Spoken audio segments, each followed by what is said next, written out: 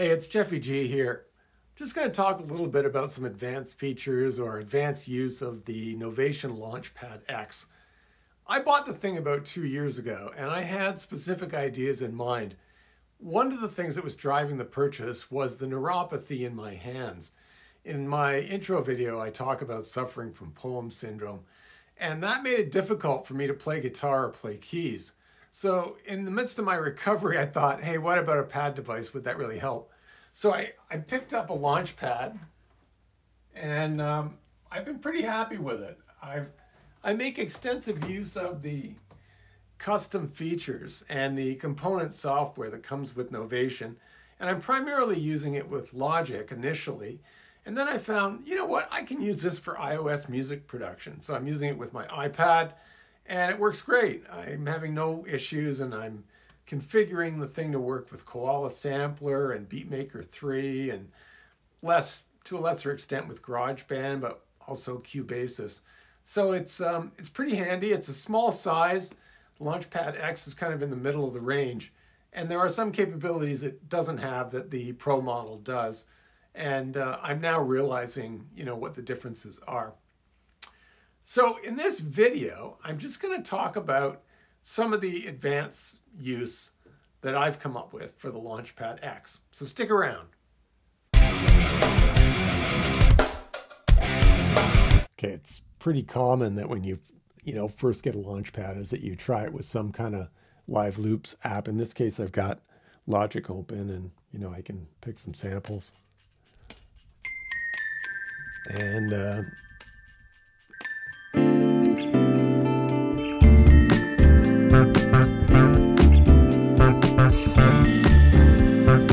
And then the arrows on the launch pad, you know, help you navigate around that grid. You can move up, left and right, up to the top. It's, it's funny, but sometimes that's that's one of the greatest difficulties is just navigating. But you can see that the button layout on here resembles exactly what you see in Logic. So live loops works perfectly right out of the box. No surprise there. Let's open a different project here. What you're looking at here is a song, a basic song.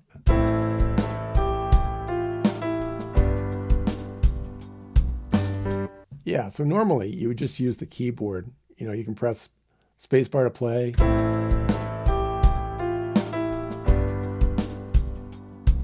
And if you, you know, go over here, you can hear more of the whole song.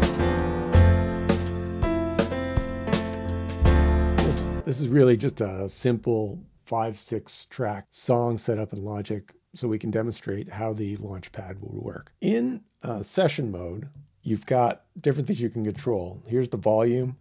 You can scroll up, scroll down, do it quickly or slowly. And that is going to move the sliders. You can see slider one moving up, moving down. You can control the volume of each track. Uh, this is the pan, so you can control the panning. So you got some DAW-like controls. Uh, you've got send A, send B. Um, you've got mute. So when you're playing,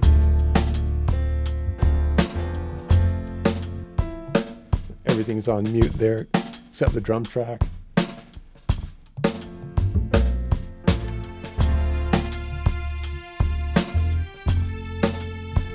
Turn off all the mutes. Got solo. Just bass.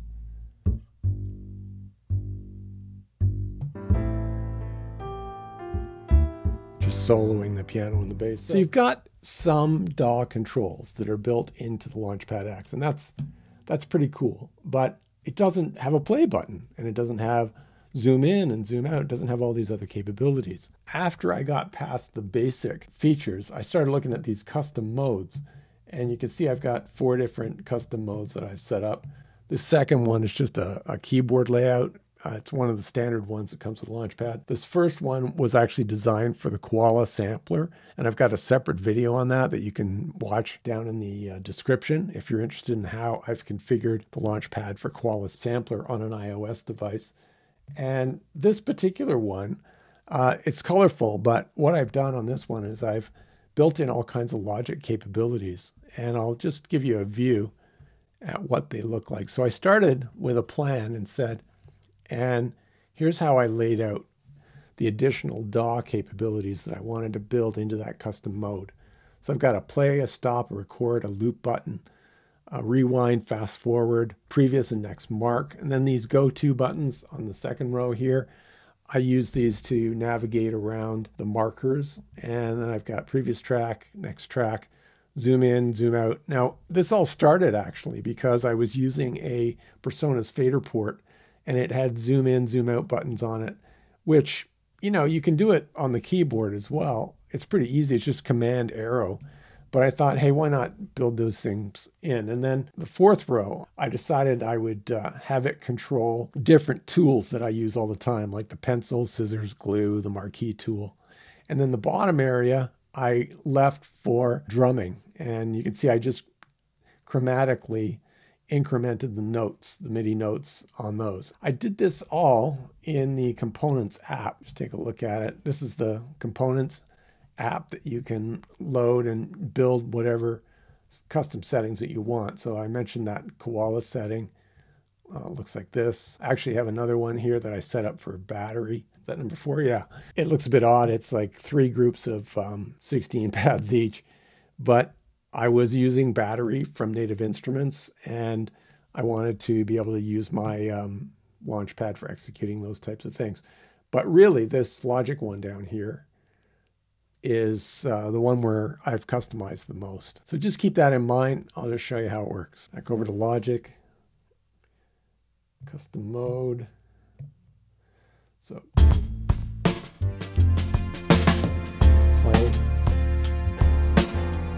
stop, cycle button, and you can see I can go back to marker one, marker two, three, four, five, six. I only have eight next track and previous track. You can see I'm changing tracks. Of course, here's the most important thing was the zoom in and zoom out capabilities both horizontally and vertically. I've kept that bottom area for drum machine designer. So if you, I got a drum machine designer set up here where I've loaded a kit.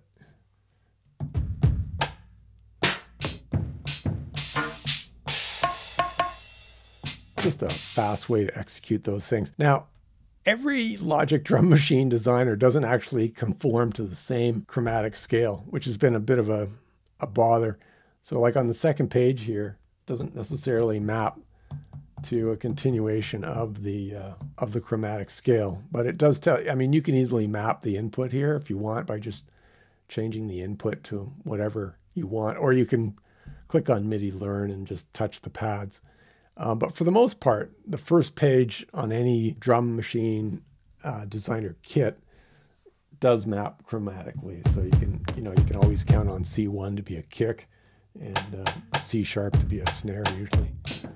And so that works pretty well for me. There is a way actually to create a standard template for Drum Machine Designer, and I've been down that road before. It works great when you're creating your own drum kits, but for a lot of the delivered drum kits within Logic, the mapping of the notes is actually all over the place. Now, sometimes the behavior is kind of weird, like stop works great, but play it seems to play every note twice.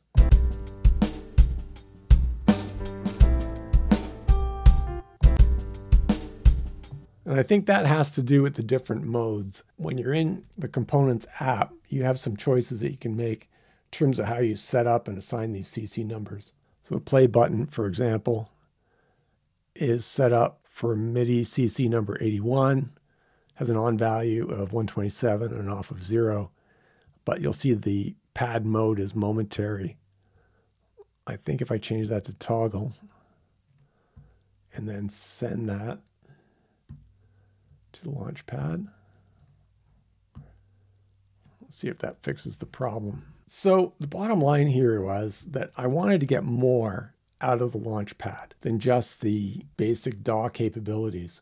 And really, uh, there are no limits. You know, you can assign CC numbers to any of these pads. The messages going into Logic are device specific, which is pretty handy. So you don't have to worry about, you know, CC85 stepping on the toes of some other assignment that you may have already made. Uh, if you go into Logic, Control Surfaces, Controller Assignments, you'll see that um, over here on the right, when you assign, uh, say, a button to do something like this one does player stop, it is assigned to a particular input. Okay, so the CC numbers are reusable. Uh, to do this, I usually just click on MIDI Learn, and I touch the pad, and then under Control Surface Commands, you're going to pick the general command. Yeah. Pick play.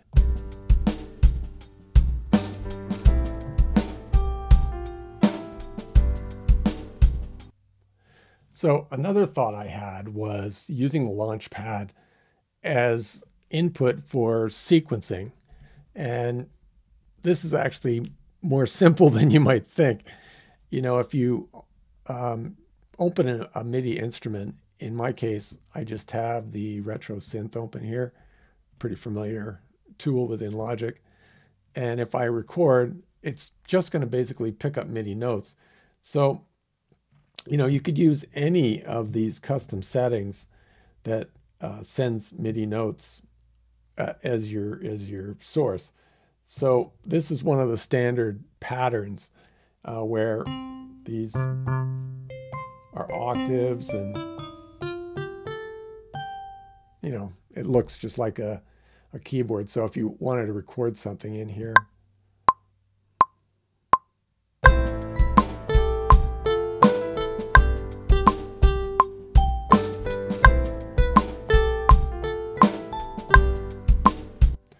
you know, that's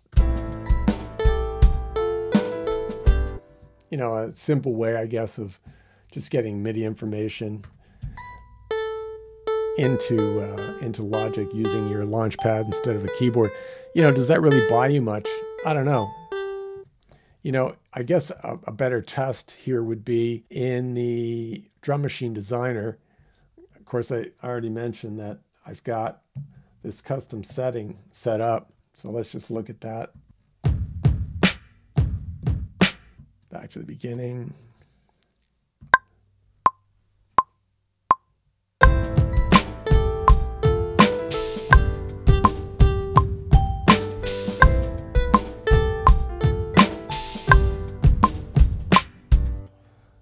Nothing surprising there that you can use the pads to create a drum pattern and um, play it back.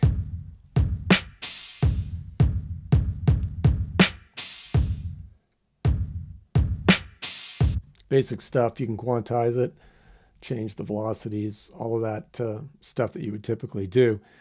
It's nice that the pads are velocity sensitive, so you don't have to spend as much time, you know, editing the velocity of each note. It's more random. So if you're good at finger drumming, that's a, another good use for the for the launchpad. And you can, you know, any of these note settings will do the job because really it's just MIDI notes that have been assigned to each drum. The real question, I think, was, you know, more of the pattern editor, which you can use for sequencing. So I haven't really tried this before. Just let me give it a shot. Up here, you could create a pattern region.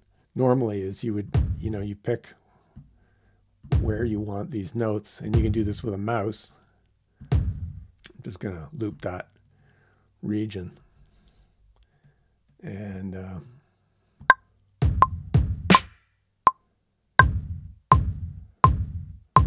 So the question would be, okay, what's what what's the fastest way of getting the data in there? So for example, on the snare drum down here, you know, normally I would just click on the note. There's one of them. Okay, what happens? Will that come in?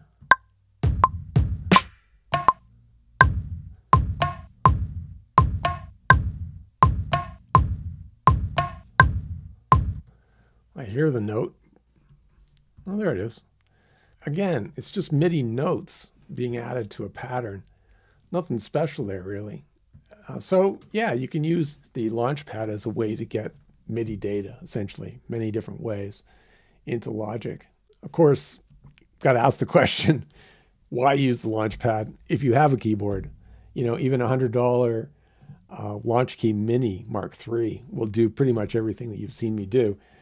Which begs the question, what's the advantage of having 64 pads to work with? Um, and that, you know, sort of came up with some of these custom settings is that in the case of my DAW example, I'm using the top 32 buttons for specific CC functions, and I'm using the bottom ones as a, a drum pad.